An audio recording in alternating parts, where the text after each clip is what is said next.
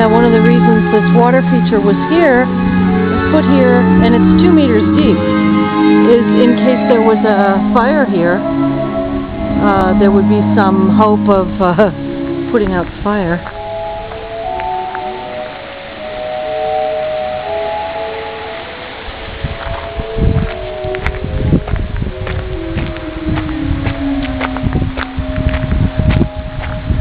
And you have to keep off the grass here and not mess with the animals.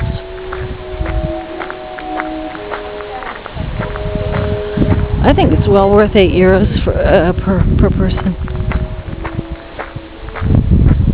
And it will be free tomorrow because it's a special Journée de Patrimoine in France tomorrow. Instead of just the first Sunday of the month, they're having a mid-September one, an annual one. Very pretty, isn't it?